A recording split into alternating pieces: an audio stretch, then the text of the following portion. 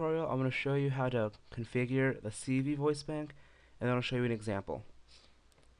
Now the first one, the CV, in order to open it, you can either click this box right here that has a name in it, or go to Project, and then Project Properties. They both op open the the same window.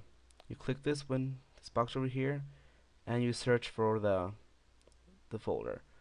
The folder should be saved under voice in the UTAU folder. I already have mine open. So just open and OK. Then go to Tools and Voice Bank Settings. I've already pre-configured this. So, to alias them, it's helpful to have your computer locale set to Japanese. Otherwise, the characters show up as random symbols. So, for A is A, Ba is Ba. Okay. To configure, I'll start with the CV. For this one, basically, the pink area represents a consonant, or where the consonant would be. But this is just A, there's no consonant, so it doesn't matter really how long you make it, but it's best to keep it pretty short. The red would represent the center of the consonant and the vowel, or you would place it in between the consonant and vowel. The green would go on the consonant. But since there's nothing here, no consonant, then just place these two. The white, anything in the white area, is what UTAU will make longer or shorter depending on the note length. Anything in the blue area is like being cut out and not being used.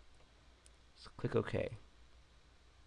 Then for ba, since this does have a consonant, the white area is the same, but over here, the red is between the consonant and the vowel.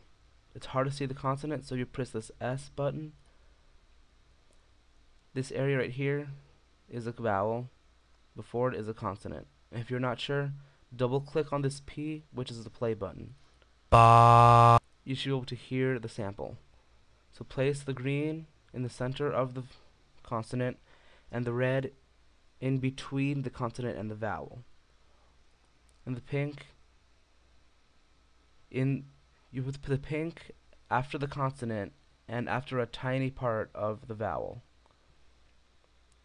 And do the same with be and every other CV. It's the same principle. I'll show you for this one. Move the pink over wherever, because you'll have to move it again later. If you can't see the consonant, then this view would help. B. Oh.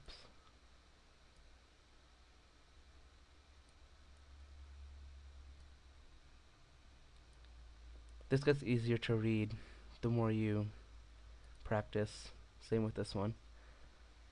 That one's done. If you you should cut off some of the end too, so it doesn't sound like the note fades at the end. This button is the OK button. In order to save this, press OK. If you hit the X or cancel, it'll it won't save anything. And here's an example of a pre-recorded voice bank that I did a while ago.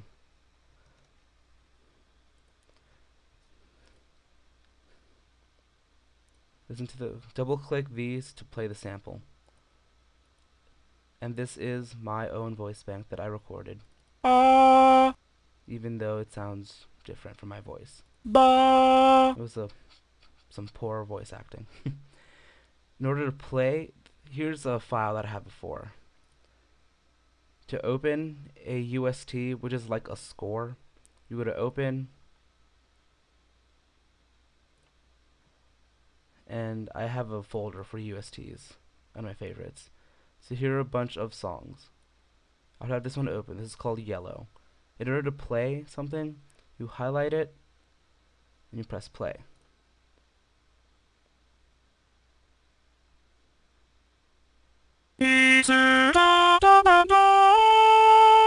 See how everything sounds choppy? Well, that's what the CV, that's the VCV's bank is for. it sounds a lot better. So if you don't configure anything, the samples will these notes by themselves sound really weird. Also, you can change the depth of the voice through flags, which are down here.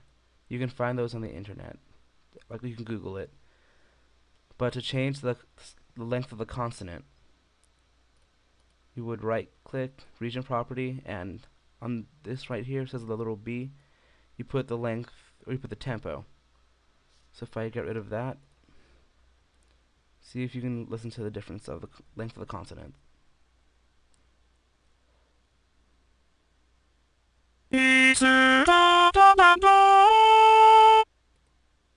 I'll put it back